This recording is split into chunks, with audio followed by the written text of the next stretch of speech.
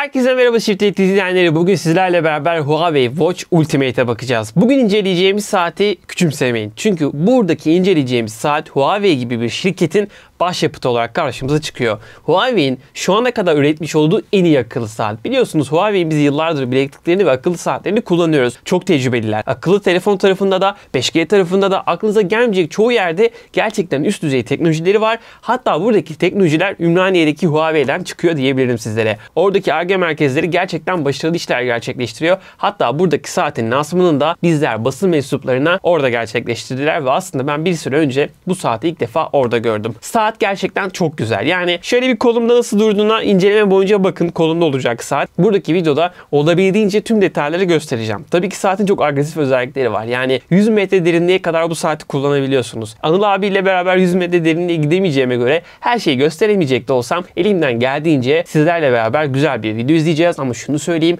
bu video uzun olacak. Çünkü gerçek bir amiral gemisi karşımızda.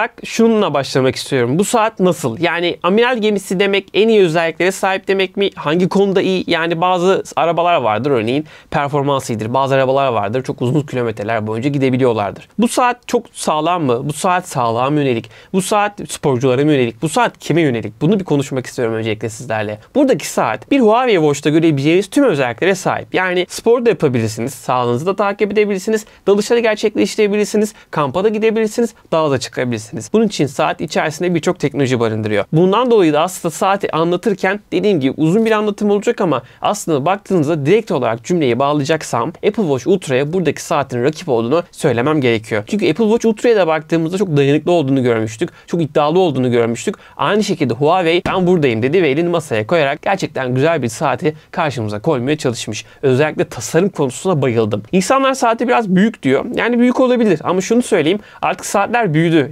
Ekranlar büyüdü ve bundan dolayı da zaten kolumda göreceksiniz. Çok absürt duruyor mu durmuyor mu kararı sizlere bırakıyorum ama ben çok sevdim. Çok da alıştım. Haberiniz olsun. Saatin iki farklı rengi bulunuyor aslında. Bir tanesi benim kolumda bulunan bir tanesini de şu anda görüyorsunuz ve benim tercihim aslında bazen acaba koyu rengi mi seçseydim yoksa bu renk daha mı iyi gibi de bir gidip geliyorum. Ama Allah'tan Huawei her zamanki gönlü bolluğunu konuşturmuş ve kutudan iki tane kayış çıkıyor. Bunlardan bir tanesi şu anda kolumda olan detaylarda göreceğiniz. Bir diğeri de aslında adı çok uzun olan plastik desem de hakaret etmiş olacağım notlarımda biraz sonra sizlere söyleyeceğim.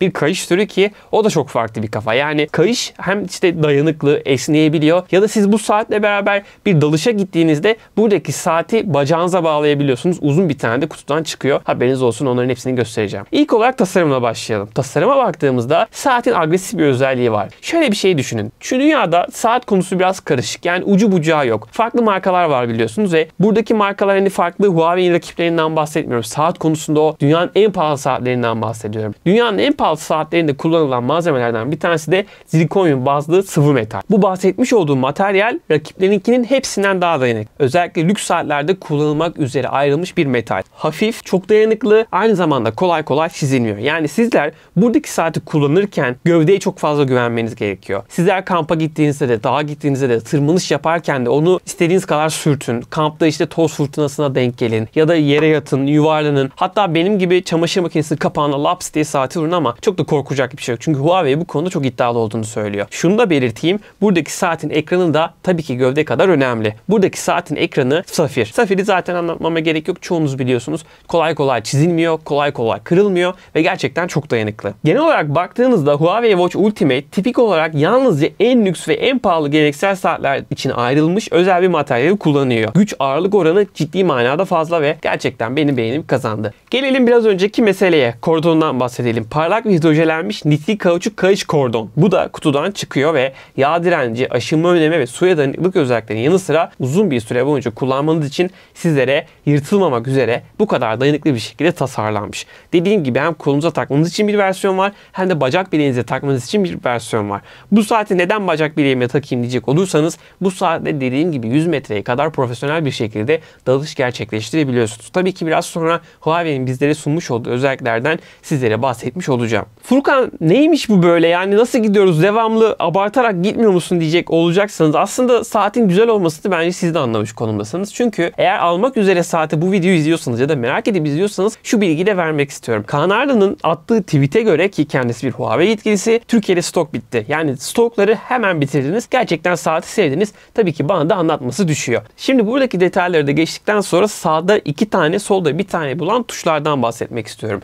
Buradaki tuşlar aslında navigasyon düğmeleri olarak geçiyor. Bunlardan biraz sonra bahsedeceğim. Hızlı bir erişim var. Sağ üstteki tuşa bastığınızda yani navigasyon tuşunu kullandığınızda burada sizler çevirerek saatte dolaşabiliyorsunuz ki hissiyatı çok güzel. Özellikle bunların büyük olması hem eldivenle kullanırken hem de biraz sonra bahsedeceğim gibi saatin montun altından kullanırken ya da böyle bazı kıyafetlerin altından kullanırken çok yardımcı oluyor. Basması çok kolay oluyor. Sizler buraya bastığınızda direkt olarak menü arasında yani ana kadranda uygulama arasında geçebiliyor. Antrenmanı durdurabiliyor ve çevirerek saatte dolaşabiliyorsun. Dün hava çok soğuktu. Saatle beraber bir antrenman yaptım. Oturdum dinlenirken saatteki antrenmanı durdurmak istedim. Normalde ne olur? Montun kolunu açarsınız. Bir dokunursunuz. Menüyü bulursunuz. Basarsınız üstüne antrenmanı durdurur. Bu biraz yorucu.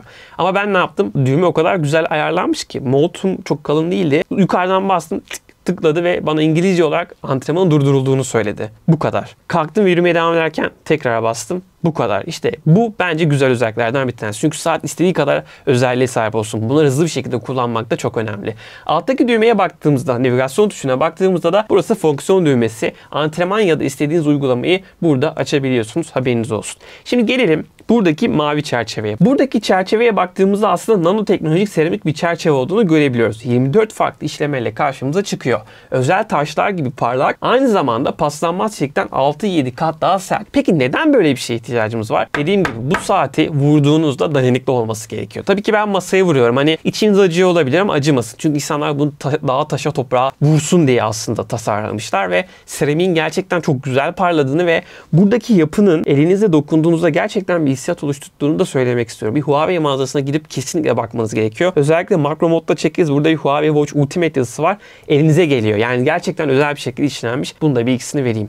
Şimdi tasarım konusunu geçiyorum ama bu saatin en büyük özelliklerinden bir tanesi de aslında bu kadar üst düzey bir materyalin kullanılmasıydı ve rakiplerine direkt pas geçmesiydi. Çünkü buradaki materyali kullanmak rakiplere meydan okurken aynı zamanda maliyeti de artırıyor. Haberiniz olsun ama gerçekten şık bir saat karşınıza çıkıyor. Peki ekran ne durumda? Buradaki ekran beni çok mutlu etti. Çünkü ekran bir kere büyük. Ben büyük ekran seviyorum. 1.5 inç büyüklüğünde LTPO AMOLED bir ekrana sahibiz. Buradaki ekran 466'ya 466'lık bir çözünürlükle beraber yüksek yenileme hızıyla karşımıza çıkıyor.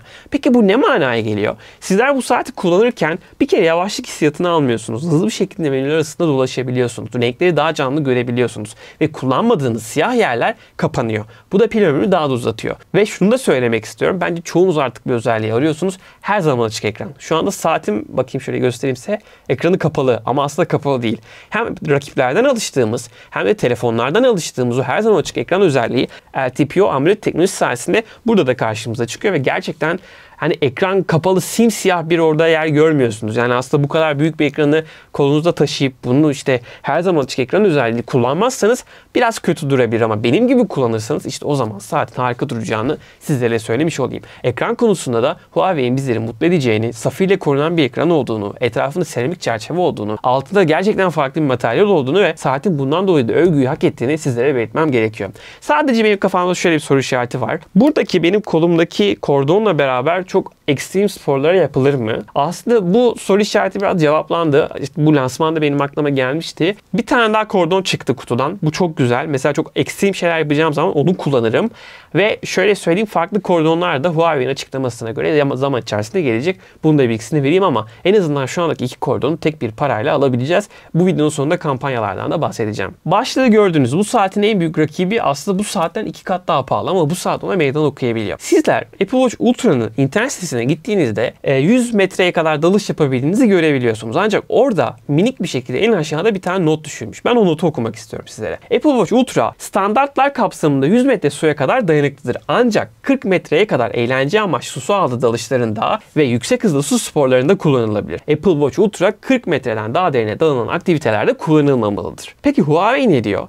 100 metreye kadar teknik dalışlarda kullanın. Hiçbir sıkıntı yok çünkü biz bunu buna göre ayarladık diyor. Ve şunun bilgisini vereyim. Bu dalış kısmına biraz uzun zaman ayıracağım. Çünkü Huawei'nin en çok üzerinde durduğu yerlerden bir tanesi bu. En büyük özelliklerden bir tanesi bu. Ve bu saati bunun için alacak çok fazla insan olduğunu biliyorum. Tabii ki hayatımda daha önce deep diving bir dalış yapmadım. Hani bırakın 100 metre, 50 metre, 30 metreye bile inmedim. Dilim döndüğünce o teknik terimlerden size bahsedeceğim ama zaten anlayacaksınız ne demek istediğimi emin olun. Şimdi önce bir 100 metreye kadar dayanıklı olduğunu, suya zaten su geçirmemezlik sertifikalarının falan zaten olduğunu anlattıktan sonra sonra biraz teknik detaylardan bahsetmek istiyorum. Buradaki saatin içerisinde 4 farklı dalış modu var. Eğlence amaçlı tüplü dalış, profesyonel tüplü dalış, serbest dalış veya gösterge. Sizler buradaki saati kullanarak çok farklı dalış verilerini görebiliyorsunuz. Örneğin dalış yap dediğinizde ne kadar derinde olduğunuzu, size gelen bildirimleri farklı renklerle görebiliyorsunuz. Çünkü 100 metre aşağıdasınız. Suyuna 100 metre altındasınız. Üstünüzde bir tane tüp var. Neredesiniz? Ne yapıyorsunuz? Bunu bilmeniz gerekiyor. Ve bunu aşağıda renkli bir şekilde bilmeniz gerekiyor. Belki ani hareketler yapıyorsunuz. Belki kandaki oksijen oranınız düşüyor. Saat bunu size haber verirken renkli bir şekilde gösteriyor. İşte siz orada sarıyı gördüğünüzde sorun olmadığını ama bir kırmızı bildirim gördüğünde bir saniye edip geri dönmeniz lazım. Bunun mantıksal olarak ayarlanmasını Huawei çok güzel bir şekilde yapmış. Peki biz neler yapabiliyoruz? Bunlara baktığımızda teknik ve eğlence amaçlı bir dalış modunu seçtiğinizde sırtınızdaki gaz tipini, su tipini, GF değerini, maksimum oksijen kısmi basıncını, güvenlik durdurma süresini, otomatik başlangıç bitiş dalış süresini görebiliyorsunuz. Saat ayrıca profesyonel algoritmalarla beraber dalış için sizlere en doğru verileri sunmaya çalışırken su altındayken ne kadar derinde olduğunuzu, sıcaklığı, pusulayı ve diğer verileri net bir şekilde gösterebiliyor. Buradaki istatistikler gerçekten çok önemli. Sizler dalışınızı kaydedebiliyor, daha sonra bakabiliyorsunuz. Buna yüzeydeki dinlenme sürenizi dahi ekleyebiliyorsunuz. Dalış yapacağınız su türünü seçebiliyorsunuz. Buradaki saatle beraber dalgıç havada asılı kaldığında belirli bir derinlikten algılayan ve otomatik olarak bir zamanlayıcı ayarlayan hover zamanlayıcısına da sahip oluyor. Su altında uzun süre kalmanız gerektiğinde saat havada kalma durumunda olup olmadığınızı da algılayabiliyor. Güvenliğiniz için size zamanlayıcı ayarlayabiliyor. Ya da serbest dalgısınız. Benim gibisiniz. Dediniz ki Hani 100 metre inmeyeyim ama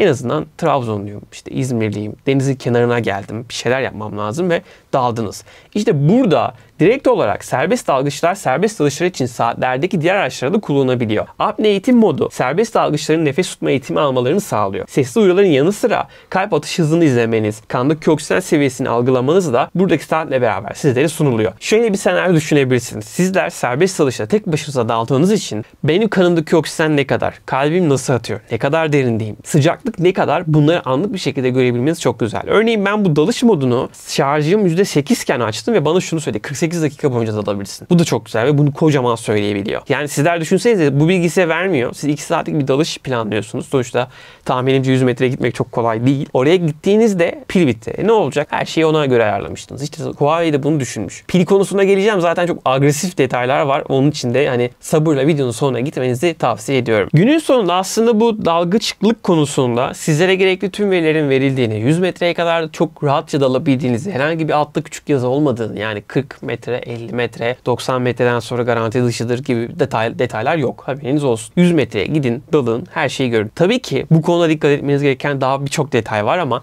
ben sadece işin teknoloji kısmından bahsediyorum. Haberiniz olsun. Daha fazla bir bilgi bununla alakalı sizlere vermeyeceğim. Çünkü dilim döndüğünce anlatabildiğimi düşünüyorum. Gelelim benim aslında çok severek kullandığım keşif moduna. Keşif modu saatin sol üstteki navigasyon tuşuna basarak açabildiğiniz bir mod. Şöyle düşünün. Ben mesela Şile'de hava koyu var. Bilmeyenlere tavsiye ederim. Kampa gidiyorum. Telefon çekmiyor. Diyoruz ki hadi yürüyelim. Şimdi normalde o hava koyu küçük bir yer ama daha da uzaklara gittiğimizi düşünelim. Telefon çekmiyor. WhatsApp'tan konum açsan bir daha o konuma geri bakamayabilirsin. İnternet göndermeyebilir. WhatsApp'tan konum attın. Hadi ona baktın. Nereden döneceğini bilemeyebilirsin. Çünkü kuş bakışı haritadan görebiliyorsun ama hani din yollarının üzerinde belki bataklık var. Geldiğin yerden geri dönmek daha önemli. Ya da telefonu yanınızda taşımak istemiyorsunuz. Ya da telefonun şarjı bitti. Ama yanınızda eğer Huawei Watch Ultimate varsa keşif keşif modunu kullanabiliyorsunuz. Bunu ben sizlere şöyle anlatmak istiyorum. Sizler ilk olarak çadırın yanında yerinizi işaretliyorsunuz. Ardından yürümeye başlıyorsunuz. Bir dönemeçe geldiğinizde tekrar işaretliyorsunuz. Gidiyorsunuz, işaretliyorsunuz ve bu işaretlemeleri renkli bir şekilde yapabiliyorsunuz. İşte burada tehlikeli bir hayvan izi var. Burada bir yerim kamp alanım var. Burada bir iz gördüm gibi Huawei Watch'un üstündeki animasyonlardan güzel bir şekilde yapıyorsunuz ve günün sonunda size bir harita çıkartılıyor. Sonra sizler oradaki pine rahatça gidebiliyorsunuz. Önce mesela 6 tane pin attınız diyelim işaretleme noktası. Sizler zaten 6'dasınız. 5'e gitmek için diyor ki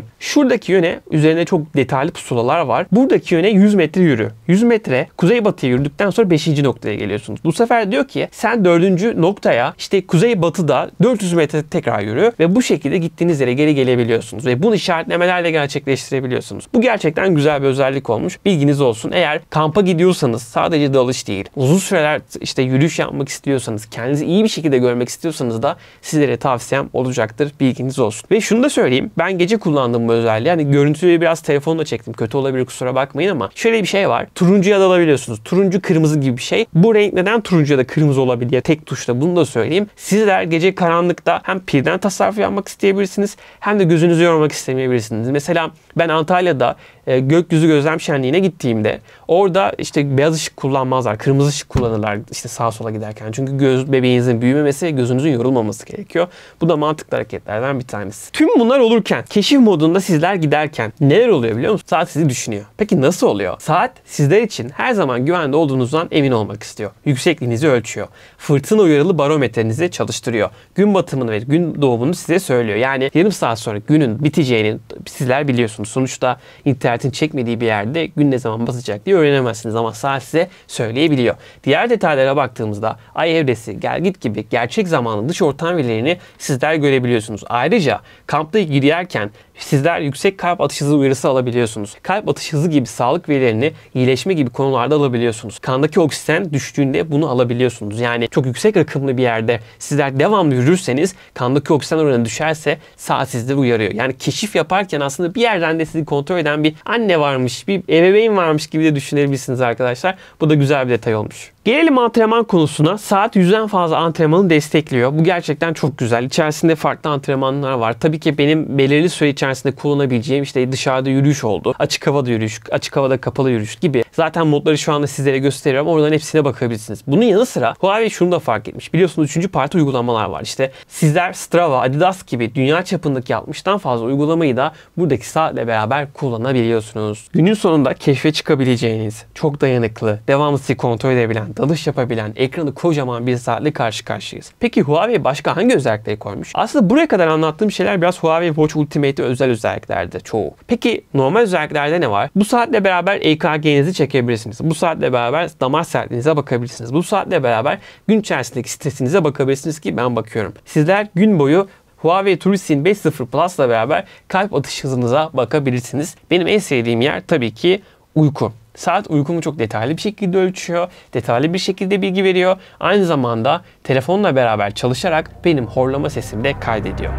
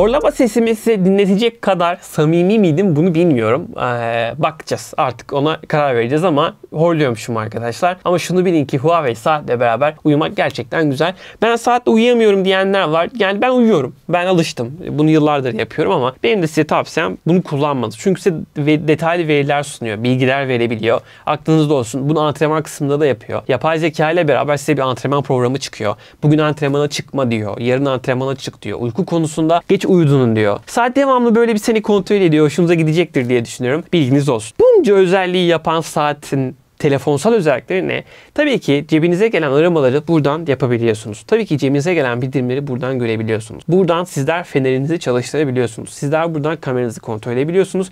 Buradan alarm kurabiliyorsunuz ki daha da samimi olalım. Cumartesi günü saat 3 böyle uykum gelmiş. Kendimde değilim. Uyuyacağım ama yarım saat sonra uyumam lazım. Hani günü kaçırmak istemiyorum. Telefonda kim bilir nerede yani koltuğun hangi tarafında. Kalksam uykum kaçacak. Hemen buradan alarmı kurdum. 30 dakika ayarladım ve yarım saat uyudum. O sırada telefon bildirimleri geldi. Bir saat titriyor. Hemen açtım buradan. Rahatsız etmeyi de aldım. Bitti. Yani telefon uzaktayken telefon çok yakın olabilmekte harika özellikler. Bunca özelliğin olduğu bir saat kaç gün gidiyor? Yani 12 saat falan mı onun pil diyecek olursanız bir şey söyleyeceğim. Çok garip. Yani farklı markaları da kullandığım için biraz onları küçümseyeceğim. 14 gün. Ve buradaki 14 gün normalde sizler işte kalbim devamlı izlensin, kan doku oksijen seviyesi devamlı izlensin gibi seçenekler var. Ya da akıllı bir şekilde Huawei'ye bırakıyorsunuz. Ben manyağım. Hep devamlı izlesin. Ben devamlı tüm verilere bakacağım diyorum. Bu ciddi manada sizin pil ömrünüzü kısaltır. Ekranı her zaman açık bırakmak pil ömrünüzü kısaltabilir. Ama bu saat gerçekten dayanıklı. Yani anlamadım. Benim şu anki öngörüme göre 5-6 gün boyunca yoğun bir kullanım gider. Ama sizler akıllı özellikleri seçerseniz her zaman açık ekran yapmazsanız tabii ki Huawei'nin verdiği verilere göre de